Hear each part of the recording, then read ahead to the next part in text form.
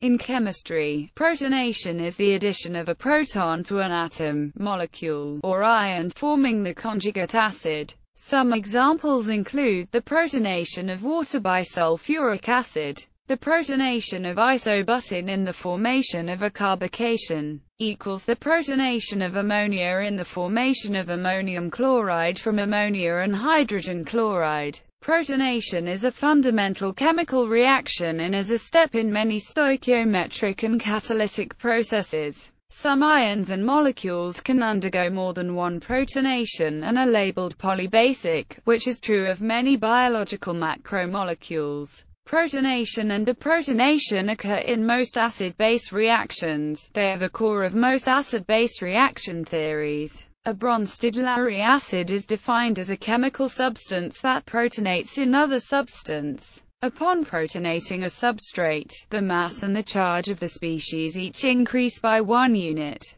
Protonating or deprotonating a molecule or ion alters many chemical properties beyond the change in the charge and mass hydrophilicity, reduction potential, optical properties, among others. Protonation is also an essential step in certain analytical procedures such as electrospray mass spectrometry. Rates of protonation and deprotonation Protonations are often rapid, in part because of the high mobility of protons in many solvents. The rate of protonation is related to the acidity of the protonating species, in that protonation by weak acids is slower than protonation of the same base by strong acids. The rates of protonation and deprotonation can be especially slow when protonation induces significant structural changes, reversibility and catalysis.